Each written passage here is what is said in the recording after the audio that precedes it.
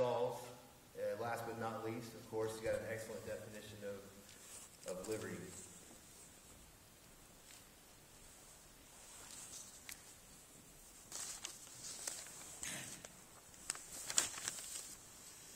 Good evening. Uh, I'm going to start off with a quote from Frederick Bastiat. It seems to me that this theoretically right for whatever the question under discussion, whether religious, philosophical, political, or economic, whether it concerns prosperity, morality, equality, right, justice, progress, responsibility, cooperation, property, labor, trade, capital, wages, taxes, population, finance, or government. At whatever the point on the scientific horizon I begin my researches, I invariably reach this one conclusion. The solution to the problems of human relationships is to be found in. Away with the whims of governmental administrators, their socialized projects, their centralization, their tariffs, their government schools, their state religions, their free credit, their bank monopolies, their regulation, their restrictions, their equalization by taxation, and their pious moralizations. And now that the legislators and do gooders have so futilely inflicted so many systems upon society, may they finally end where they should have begun. May they reject all systems and try liberty. So, what is liberty? Liberty is the freedom to act with respect only to second and third party rights, slave only to those limitations enacted by the Creator or nature. Breaking down this definition, notice that the word freedom has been used not as a synonym of liberty, but as a mere piece of the overall definition of the term. What does this mean? Liberty is not freedom, and freedom is not liberty. Certainly, there exists a relationship between the terms, but the terms are mutually exclusive. One can exist with freedom in his or her everyday life and not enjoy liberty. Liberty is the complete ownership of oneself in action, while one can be a slave to others and still retain freedom. An example a man imprisoned in his cell, does he possess liberty? Does he possess freedom? Let's answer the last first. This man, locked away from the world and all he held dear, retains freedom. Do not confuse his loss of liberty for a loss of freedom. No, this man possesses freedom, even as he is a slave. He is free to move about in a cell. He is free to think. He is free to breathe the air, to whistle a song, to use his toiletries, to read his books, and on and on. Certainly, these freedoms could be further limited up to and including the ultimate restriction, which would be execution. But he retains a measure of freedom up to that point. But this man has lost his liberty the minute he was in prison. In order for this man to enjoy liberty, he must retain the freedom to act in any manner he sees fit with respect to the rights of others. If one is unable to act in such a manner, he or she has lost liberty while retaining freedom.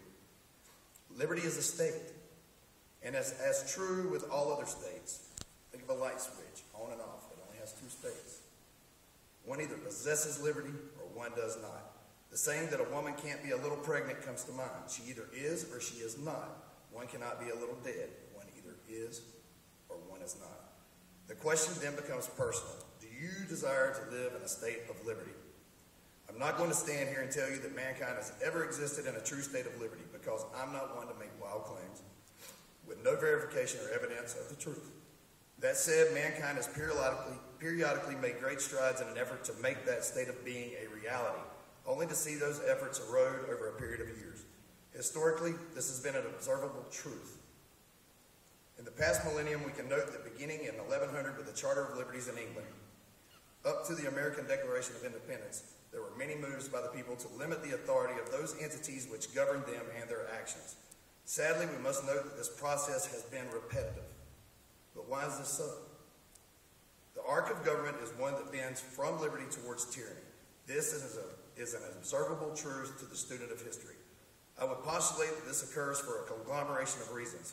However, it is allowed to occur usually because there has been a period of time in which the enlightened view of liberty and what it entails has been purposely blurred. Instead of moving toward liberty and justice for all, the people lose their moral compass and allow their government to become a column that attempts to be all things to all people until it eventually enslaves everyone to a bastardization of collectivist thought. Frederick Bastiat, the great philosopher and author of the law, gave us a simple guide to test whether or not a people were living under the tyranny of others via its governance. See if the law takes from some persons what belongs to them and gives it to other persons to whom it does not belong. See if the law benefits one citizen at the expense of another, by doing what the citizen himself cannot do without committing a crime. Does your government pass this test? This is a question that all who seek liberty must answer for themselves, but one thing must be clear. Liberty is a complete mechanism made up of tiny cogs of freedom. Take away just one cog and the mechanism does not work. It is for this reason that mankind should not allow the definitions of these two mutually exclusive terms to be blurred into a single unit.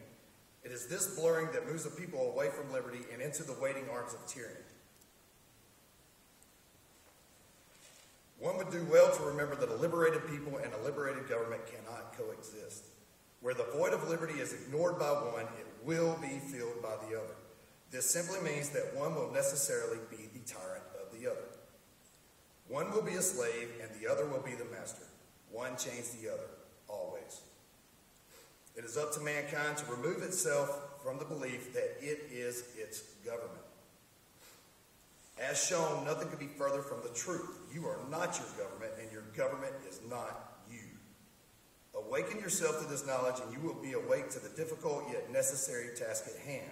In order to claim our birthright, the people must remove itself, remove from itself those chains placed upon them in the name of government, and use them prop- to properly restrain the institution itself. Again, from Bastiat. Ah, you miserable creatures, you who think that you are so great, you who judge humanity to be so small, you who wish to reform everything. Why don't you reform yourselves? That task would be sufficient enough. Although written some 160 years ago, these words are just as relevant today and form the core of this event tonight. Each and every speaker here has presented unto you an issue which threatens to swing the pendulum of liberty even further into the favor of those who seek to rule mankind. They are, in effect, speaking to the one person who can force such people to reform themselves, as Bastiat suggests. You have a voice. It belongs to you and is more powerful when backed by truth in favor of liberty than you can imagine. But what is your voice? How and when can you use it? First, let me explain to you what your voice is not by telling a quick story. Recently, I was in conversation with a few people, none of whom I knew personally, about the upcoming presidential election. When someone within the conversation suggested that they would be abstaining from casting a presidential ballot, another stood aghast at what had been said. This person went on to exclaim that the right to vote is a person's voice. This struck me as perhaps one of the more misinformed statements I had ever been a party to. Your vote is your voice? How terrible would that be? A vote is but one very small component of your voice. To suggest otherwise would be to claim that your voice is to be heard once a cycle, and then you are to remain silent in the period between. No, your voice is everything that you do and say. It is how you carry yourself, who you conspire with, what you buy, where you lay your head. Your voice is never ending, and despite what others would have you believe, it is very, very powerful. Like freedom to liberty, your enlightened voice is the basic building block of true and everlasting revolution against tyranny, wherever it is to be found. So, how should this powerful tool be used? The power of your voice comes from your ability to combine it with others to build its volume. When your voice is one in a sea of 350 million, it is muted almost to the point of obscurity, so it must be combined with others to be noticed. Each speaker here tonight has presented unto you an issue of freedom that is a component of liberty. Where we succeed with one, we move closer to the overall goal. Each of us come from different backgrounds and possibly share different views on the principles of governance. However, we have chosen not to focus on any possible differences. No, we have chosen instead to unite and celebrate our commonalities because each of us see more value in such an action. We are uniting our voices in the name of liberty, and we welcome you to join your voice with ours. The power to reclaim one's liberty from the federal government cannot come until one's voice has been heard at the state level. The power to reclaim one's liberty from the state cannot come until one's voice has been heard at the district. And the district will ignore one's voice until it has been heard at the local level. And none of this matters unless you reform yourself. The outbreak of liberty must start somewhere, and that somewhere is within you. You are the basic building block of any movement. And as you work to combine your voice with others within your community, your friends, your neighbors, your associates, your family. You will notice the outbreak occurring. If you make the reforms, the change will come at each successive level. Voice cannot be ignored unless you fail to grow it. You are in charge. The power is yours.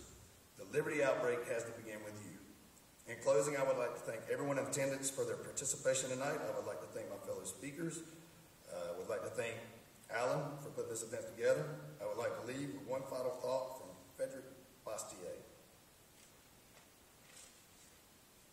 We hold from God the gift which includes all others. This gift is life, physical, intellectual, and moral life. But life cannot maintain itself alone. The creator of life, has entrusted us with the responsibility of preserving, developing, and perfecting it.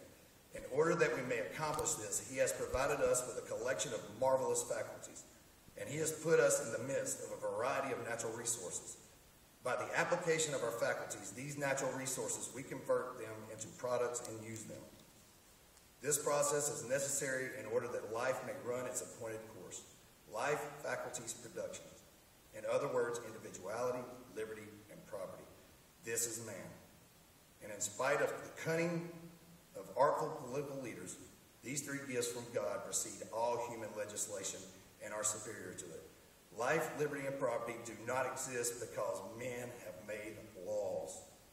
On the contrary, contrary, it was the fact that life, liberty, and property existed beforehand that men made laws in the first place.